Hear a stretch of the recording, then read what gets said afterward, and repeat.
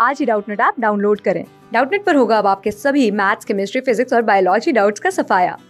बस अपने क्वेश्चन की फ़ोटो खींचो उसे क्रॉप करो और तुरंत वीडियो सोल्यूशन पाओ download now So we are given that the sides of a triangle are in the ratio 1 ratio root 3 ratio root 2. Then the angles are in the ratio and the options given are 1 ratio 3 ratio 5, 2 ratio 3 ratio 4, 3 ratio 2 ratio 1 and option 4 is 1 ratio 2 ratio 3. So we start this problem by as we are given that the sides are in the ratio 1 ratio root 3 ratio 2. So let a is equal to k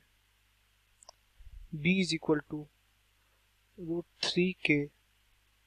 and c is equal to 2k so by using the formula of cos a which is equal to b square plus c square minus a square divided by 2bc putting the value of abc from this we will get 3k square plus 4k square minus k square divided by 2 into 2 into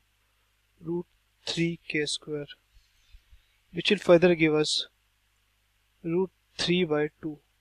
so we can say that the value of angle A is equal to pi by 6 Now using the formula of cos B which is equal to c square plus a square minus b square divided by 2ac we will get 4k square plus k square minus 3k square divided by 4k square which will give us 1 by 2 so we can we can so the value of angle B would be pi by 3 further solving as we know that angle A plus angle B plus angle C is equal to 180 angle A plus angle B angle C is equal to pi. And we have already found the value of A and B. Putting the value of A and B this equation will get C is equal to pi minus A plus B. Now since a is equal to pi by 6 and b is equal to pi by 3